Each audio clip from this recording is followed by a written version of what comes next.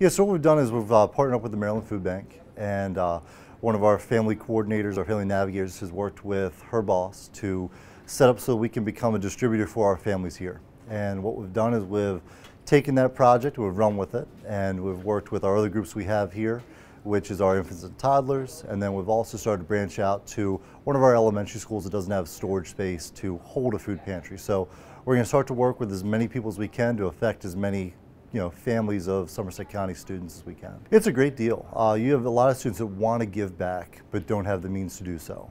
So when we get our food shipments that come in, you know, they'll come up and they'll be like, hey, can I help distribute it? We'll say, go get your work done. You know, when you get a few extra minutes, come help us. And they do. And so we have students who'll come organize, they'll sort, uh, they'll unload, uh, they'll even take out the trash. So they're, they're really enjoying their earning service hours, and uh, I think they're really enjoying giving back. Yeah, I think right now the goal is to reach out to more schools, affect more people in need.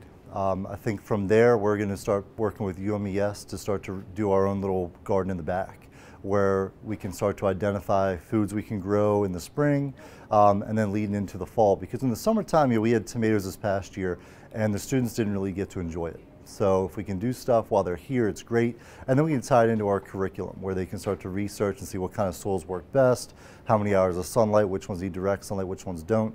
And then from there, hopefully we can start to give back to our families with some fresh produce. So hopefully we can start with some lettuce in the spring and then um, move on up into see what else we can do.